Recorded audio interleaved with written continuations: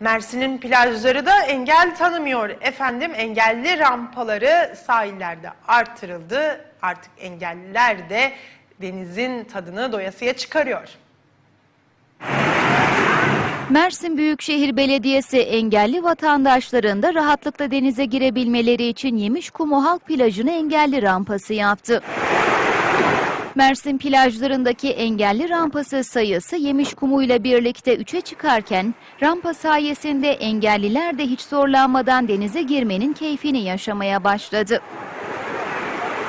CHP Mersin Milletvekili Ali Mahir Başarır geçen günlerde ziyaret ettiği Yemişkumu Halk Plajı'nda vatandaşlarla bir araya gelmiş. Vatandaşların plajlarda engelli rampası talep etmesi üzerine Mersin Büyükşehir Belediye Başkanı Vahap Seçer'i telefonla arayarak talebi iletmişti. Seçer de rampanın Kurban Bayramı'na yetişeceğinin sözünü vermişti.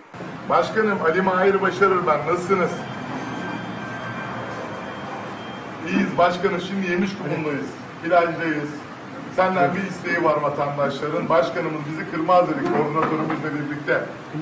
Şimdi engelliler için böyle bir rampa yol istiyorlar. Yapılmamış bugüne kadar.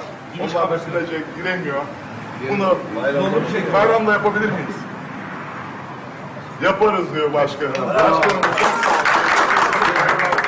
Seçer'in talimatıyla harekete geçen ekipler Yemişkumu plajına 5 günde engelli rampası yaparak bayrama yetiştirdi. Başkan Seçer vatandaşlara verdiği sözü tutarken plaja kazandırılan engelli rampası sayesinde artık engelli vatandaşlar rahat bir şekilde denize girebilecek, güneşin, kumun ve sahilin tadını doyasıya çıkarabilecek.